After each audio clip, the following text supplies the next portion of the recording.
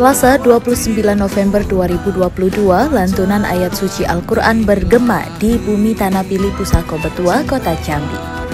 Pembukaan MTQ ke-52 tingkat Kota Jambi dilaksanakan di lapangan Langit Biru Kelurahan Tanjung Sari, Kecamatan Jambi Timur. Kegiatan ini dibuka secara resmi oleh Wali Kota Jambi Sarifasa.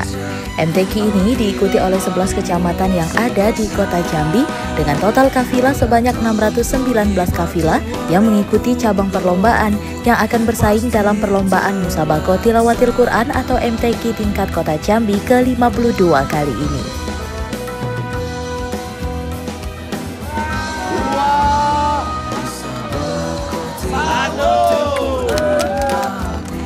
Sebelum menggelar pembukaan Musabako Tilawatil Quran Kota Jambi ke-52, terlebih dahulu dilaksanakan pembukaan stand bazar di area MTQ tersebut, menampilkan berbagai potensi unggulan produk UKM dari seluruh kecamatan sekota Jambi.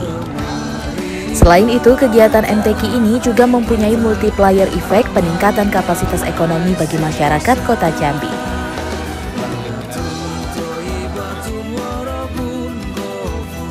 Kemudian dilanjutkan aksi pawai yang diikuti seluruh peserta dari 11 kecamatan di kota Jambi.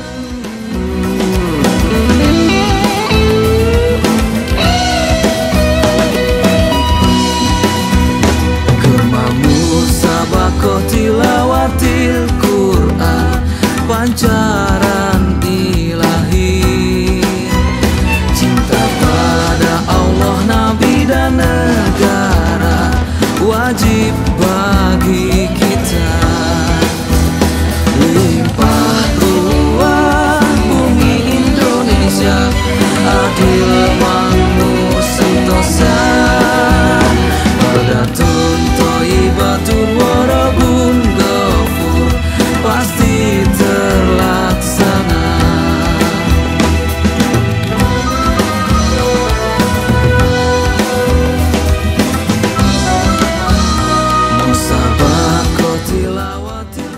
Mengangkat tema Kita Bangun Generasi Qurani yang cerdas dan berakhlakul karimah menuju kota Jambi terkini, MTQ tersebut merupakan salah satu bukti tumbuh suburnya program pembangunan di bidang keagamaan yang merupakan salah satu visi kota Jambi terkini, di mana di dalamnya termasuk juga peningkatan pemahaman dan pengembangan nilai keagamaan di masyarakat. Kegiatan Musabako Tilawatil Quran ini merupakan pengembangan syiar Islam dan ikhtiar untuk mengagungkan kalam ilahi, meneguhkan kesuciannya, memperkuat keimanan dan memperluas fungsi edukatif daripada kitab suci Al-Quran bagi umat Islam.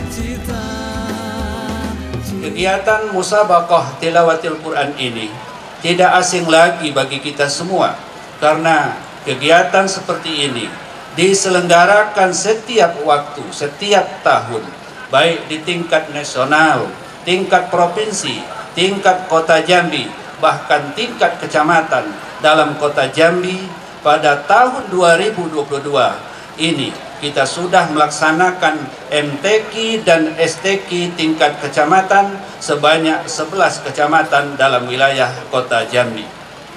Kami mengucapkan dan mengaturkan ucapan terima kasih yang sebesar-besarnya kepada Bapak Wali Kota Jambi, Bapak Wakil Wali Kota Jambi selaku Ketua Umum LPTK dan kepada Bapak Ketua DPRD beserta seluruh anggota yang telah membantu dan mensupport kegiatan-kegiatan keagamaan khususnya kegiatan MTQ.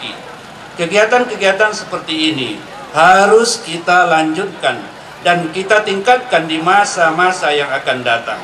Berkat dukungan dan kerjasama kita semua sehingga Kapilah Kota Jambi berhasil meraih juara umum pada MTQ ke-51 tingkat Provinsi Jambi di Kota Sungai Penuh pada tahun 2022. Sekali lagi tepuk tangan yang meriah untuk Pak Wali dan Pak Wakil Wali Kota beserta Ketua DPR. Juara umum yang sudah kita raihkan ini Mari kita bersama-sama bertekad pada hari ini, pada malam hari ini untuk mempertahankannya dan untuk tetap menjadi juara umum pada MTQ ke-52 tingkat Provinsi Jambi pada tahun 2023 nanti insya Allah akan dilaksanakan di Sarolangun. perkembangan kehidupan beragama di kota Jambi selama ini sangat menggembirakan, terutama pada tingkat ritual keagamaan yang didukung oleh meningkatnya penyediaan sarana dan fasilitas keagamaan yang ditujukan dalam kegiatan keagamaan yang tumbuh subur. Program pembangunan bidang keagamaan merupakan salah satu visi kota Jambi terkini yang di dalamnya termasuk juga peningkatan pemahaman dan pengembangan nilai keagamaan di masyarakat. Dan, di antaranya adalah melalui kegiatan Musabakoh Tilawatil Quran. Kegiatan ini merupakan pengembangan syiar Islam dan ikhtiar untuk mengagungkan kalam ilahi, untuk meneguhkan kesuciannya, memperkuat keimanan, dan memperluas fungsi edukatif daripada kitab suci Al-Quran bagi umat Islam. Oleh karena itu, tema yang diangkat dalam MTQ tingkat kota Jambi kali ini, kita bangun generasi Quran yang cerdas dan berakhlakul karimah menuju kota Jambi terkini. Saya nilai sangatlah tepat dengan kondisi saat ini. Hadirin yang saya hormati, selanjutnya Al-Quran juga harus mampu menjadi inspirasi dalam membangun nilai-nilai kerukunan, toleransi dan keharmonisan, sekaligus solusi dari berbagai persoalan aktual umat dan bangsa. Saya harapkan generasi muda yang terlibat dalam kegiatan MTQ ini akan semakin memiliki pemahaman yang benar terhadap kandungan Al-Quran. Hadirin dan tamu undangan yang berbahagia, sesaat lagi kita akan mengikuti seremonial pembukaan MTQ ke-52 tingkat Kota Jambi Mohon izin yang terhormat Wali Kota Jambi, Bapak Dr. Haji. Mundur, kami persilahkan Bapak untuk dapat menancapkan replika keris dalam hitungan mundur. Kita hitung bersama. Tiga, Tiga dua, satu.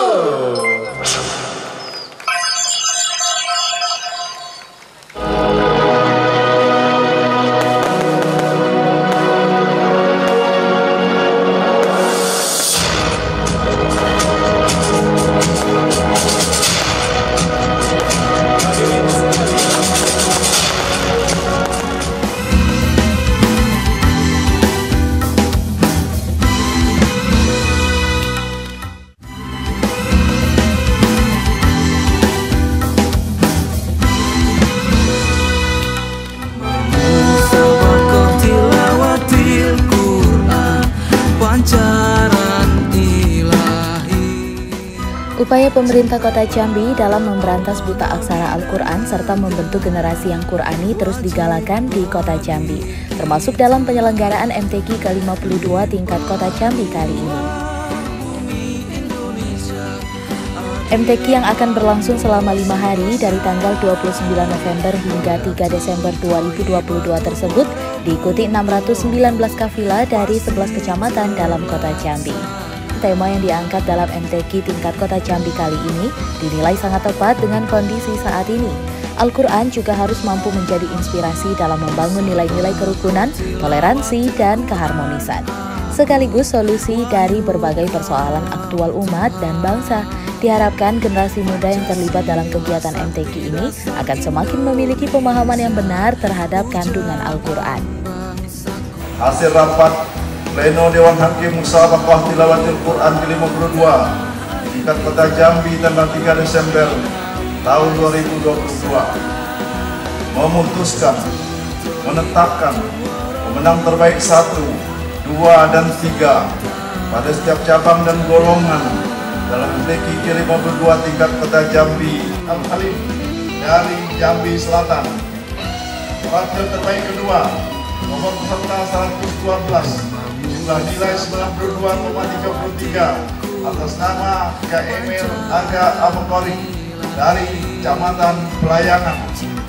Orang yang terbaik ketiga, nomor peserta 124 jumlah nilai 91,83 atas nama Muhammad Haikal M dari Alam Utarajo.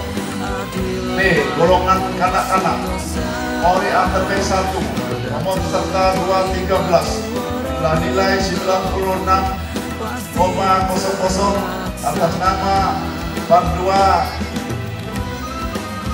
Zirli dari Kecamatan Pelayangan.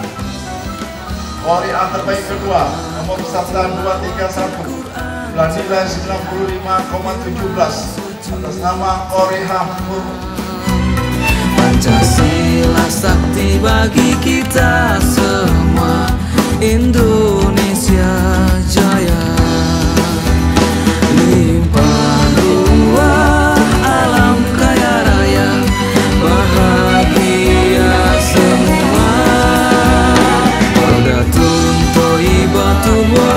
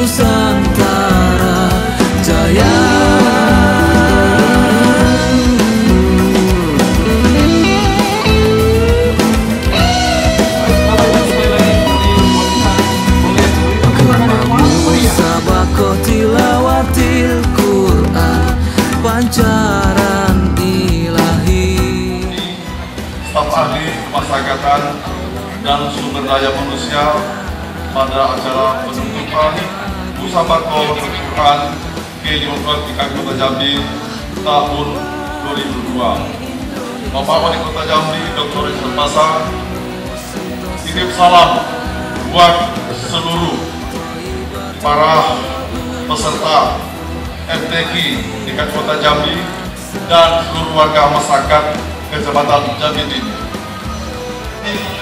Tahun 2012 secara resmi saya nyatakan ditutup.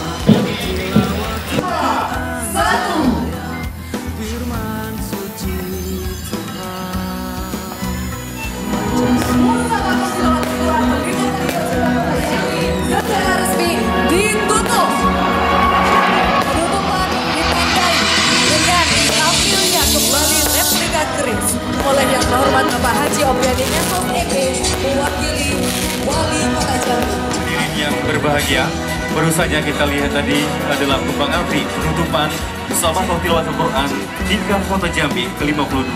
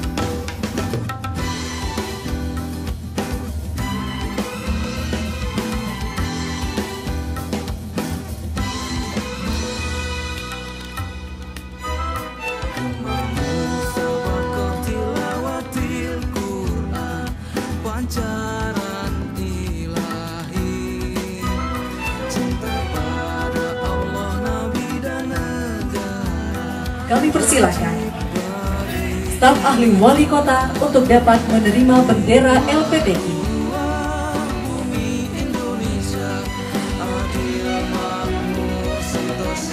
Bendera akan diserahkan kepada Camat Jambi Timur. Untuk selanjutnya diserahkan kepada staf ahli wali kota. Dan bendera akan diserahkan kepada Camat Jelutung selaku tuan rumah penyelenggara Musabakoh Tilawatil Quran tingkat Kota Jambi tahun 2023.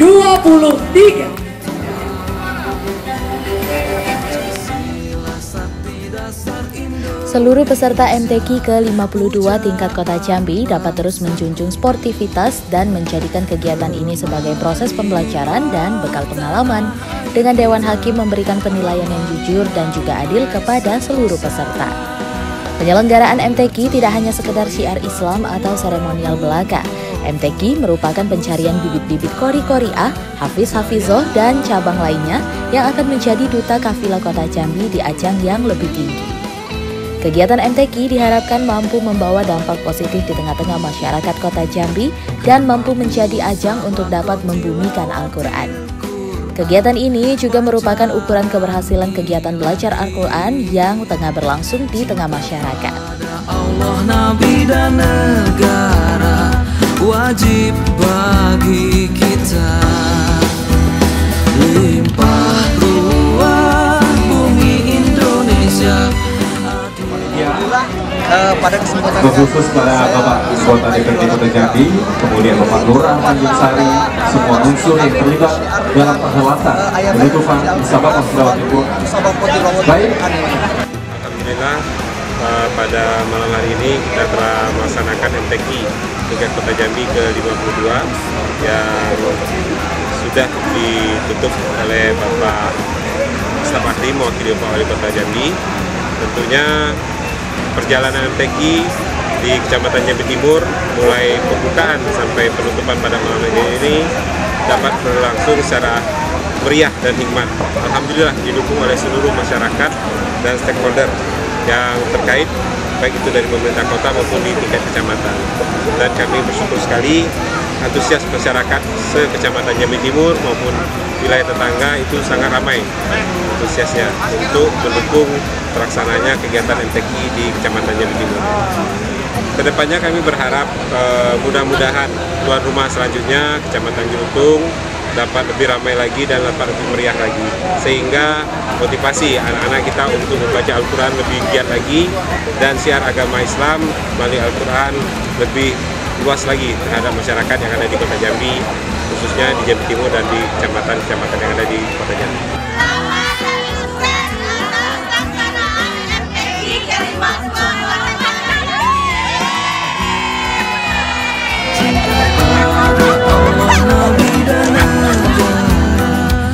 wajib bagi kita